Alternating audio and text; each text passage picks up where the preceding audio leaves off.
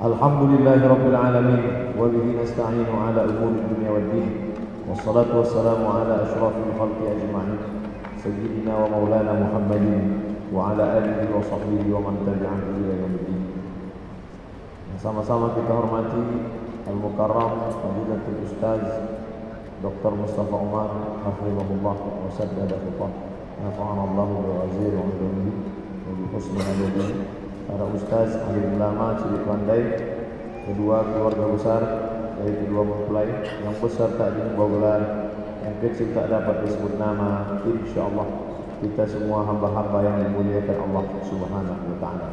Amin ya rabbal alamin. Saya diberikan kehormatan di hari yang paling bersejarah dalam hidup saudara kita. Saya diberikan amanah untuk menyampaikan nasihat pernikahan. Saya ringkas dalam lima poin. Yang pertama, istahlaltum furujahunna bi kalimatillah. Yang sebelumnya haram untuk dipikirkan, haram terlintas dalam hati. Tapi hari ini dihalalkan oleh Allah Subhanahu wa taala. Yang menghalalkan itu Allah Subhanahu wa taala. Dihalalkan dengan kalimat Allah Subhanahu wa taala. Istahlaltum furujahunna bi kalimatillah. Dengan kalimat dari Allah Subhanahu wa taala. Oleh sebab itu maka kalau sudah dihalalkan oleh Allah ikutlah aturan yang sudah dibuat oleh Allah Subhanahu wa taala. Dalam pernikahan ini ada yang digariskan Allah Subhanahu wa taala sejak hari ini saudaraku Ami tidak lagi menjadi pribadi seorang muslim tapi sudah menjadi kepala rumah tangga.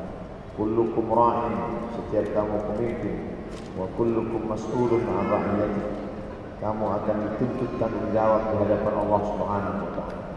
Selama ini salatnya mungkin cukup sendiri datang ke masjid, tapi hari ini sejak akad tadi mulai memperhatikan salat istri. Selama ini cukup dengan memakai celana menutup pusat menutup lutut, tapi sejak akad tadi mulai memperhatikan jilbabnya, hijabnya, kalau dibiarkan istri dalam keadaan membuka aurat dayus. La yadkhulul jannata dayus. Tak masuk surga dayus. Alladhi yuqirru su'a ala ahlihi. Orang yang membiarkan keluarga istri anak perempuannya membuka aurat walaupun rajin salat walaupun rajin puasa. Kalau kita biarkan istri membuka aurat maka kalau suami nyinyir bolak-balik menasihati menutup aurat maka sebenarnya dia ingin menyelamatkan dari azab neraka jahanam banyak istri tidak mengerti. Lalu dia katakan suami ini kenapa urus pakaian saya? Urus saja nafkah cari aja rezeki. Mencari rezeki itu mudah rezeki dijamin oleh Allah tapi masalah aurat tak ada jaminan dari Allah kita akan selamat dari azab neraka jahanam kalau membiarkan Perbuatan zina hari ini yang kita lihat itu adalah karena orang tua tidak peduli kepada anaknya, suami tidak peduli kepada istrinya, menantu tidak peduli kepada lingkungannya. Maka sejak akad tadi jagalah aturan Allah Subhanahu wa taala. Karena yang menghalalkan yang haram ini adalah Allah. Istahlaltum furujahunna bi kalimatillah. Akhadna minkum mitsaqan ghalidha. Akad yang diambil tadi bukan akad MOU antar dua perusahaan, bukan akad G2G antara dua government, presiden dengan presiden, antar gubernur, bukan. Tapi akad itu adalah antara orang beriman, antara Khalik dengan makhluk, antara pencipta dengan yang diciptakan. Maka peganglah akad itu dengan baik. Itu poin yang pertama. Yang kedua, ada hak istri kepada suami dan suami mesti tunaikan itu. Yang pertama makan, yang kedua pakaian, yang ketiga tempat tinggal, yang keempat pendidikan, yang kelima perhatian. Biologis masuk dalam perhatian. Dibacakan surat ta'lim Jika saya tinggalkan selama tiga bulan berturut-turut Tanpa memberikan nafkah zahir dan batin lalu istri saya mengadu ke pengadilan agama dengan membayar iwat maka berhaklah hakim menjatuhkan talak saksi kepadanya ini jangan sampai tinggal. Makan pakaian tempat tinggal pendidikan perhatian itu hak istri setelah ikatan suami istri bukan berarti semua milik istri menjadi milik suami. Saya sudah menjadi suamimu maka semua hartamu semua tanahmu semua emasmu yang dari ayahmu dulu menjadi milik aku. Tidak. Dalam Islam diakui ada hak istri ada hak suami. Walakum nisfu ma taraka azwajukum illam yakul lahunna walad. Hai suami kamu dapat setengah harta istrimu kenapa ayat itu berkata ada harta istri harta istri tetap menjadi milik istri Islam mengakui kepemilikan perempuan. Mungkin dulu suami menikah dengan perempuan, lalu perempuan itu anak orang kaya, dia punya tanah, dia punya ruko, dia punya kebun, itu milik dia. Tapi jangan karena dia kaya lalu suami tidak memberi nafkah atau bahkan mengambil, menganiaya. Maka ingat saudara bahawa ada lima hak perempuan dalam diri kita. Kalau tidak kita tunaikan, Andai kita sibuk beribadah kepada Allah Bayangkan bagaimana Abu Darda sahabat Nabi Titelnya radhiyallahu an Allah meridai dia Tapi ketika dia tidak memberikan ini kepada istrinya Nabi marah Inna li jasadika alaika haqqan Jasadmu punya hak kasih dia makan Inna li ainika alaika haqqan Matamu kasih punya hak kasih dia tidur Inna li ahlika alaika haqqan Istrimu punya hak kasih dia makan kasih dia pakaian, kasih dia tempat tinggal, berikan dia pendidikan, berikan dia perhatian. Kalau tidak, maka pala yang sudah dilafazkan. Kenapa laki-laki baru saja akan nikah sudah cerita tolak?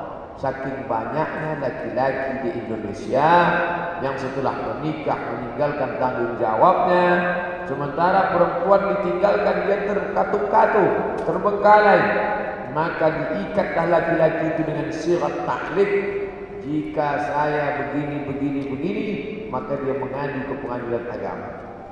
Sebagian orang tidak mau baca sirat taklif untuk apa saya baca? Tapi kita pada posisi perempuan yang lemah maka untuk menjaga dari laki-laki yang tidak bertanggung jawab saudaraku Andi laki-laki bertanggung jawab ikut pengajian kita semua kenal dengan baik tapi kita ingin menjelaskan ini kepada calon mempelai laki-laki di masa akan datang. Begitulah perempuan diikat dalam Islam. Yang ketiga,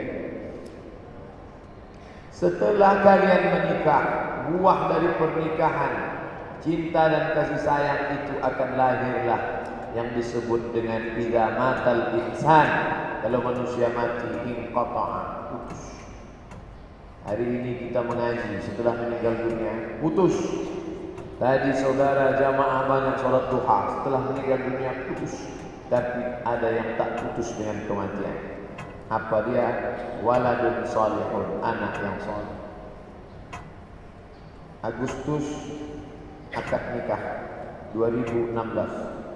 Agustus 2017 mungkin kita akan diundang lagi dalam acara akikah anak soleh lahir. Tadi doanya Ustaz Hasbullah barakallahu lakum wa baraka alaikum wa jama'a bainakum fi khair. Tapi doa kita akan datang berubah. Barakallahu laka fil mawhub wa syakarta wahib wa birrahu wa balagha ashuddahu wa ruzikta birrahu. Semoga anakmu menjadi anak yang soleh dan solehah. Nikah dalam Islam bukan hanya sekedar hubungan biologis Nikah dalam Islam bukan hanya sekedar cinta Tapi buah dari pernikahan adalah Dunia akan diisi oleh orang-orang yang beriman Salah satu kebanggaan Nabi Muhammad SAW Ketika dia melihat umatnya ini Yang paling banyak di antara umat Nabi Nuh, Nabi Musa, Nabi Isa Yang paling banyak adalah Inni mukafirum bikum bainal umam. Aku bangga karena umatku yang paling banyak. Dan salah satu umat itu adalah anak dari pasangan yang sedang kita hadiri. Kita semua menyaksikan pernikahan mereka hari ini. Anak itulah yang akan mengisi dunia ini 20-30 tahun akan datang. Anak itulah yang akan menjadikan dunia ini seimbang makmur, adab tentram. Anak itulah yang akan mengirimkan doa Rabbil firli wali walidayya warhamhuma kama rabbayani shaghira. Maka buah dari pernikahan yang baik ini didiklah anak itu dengan baik-baik. Man ala salasa banatin siapa yang merawat tiga anak perempuan fa'addabahunna dididiknya dengan baik wa zawwajahunna dinikahnya dengan baik wa az wa ahsana ilaihinna dia buat baik sampai mati falahul jannah. Maka surga lah lagi. Oleh sebab itu pernikahan ini bukan tujuan.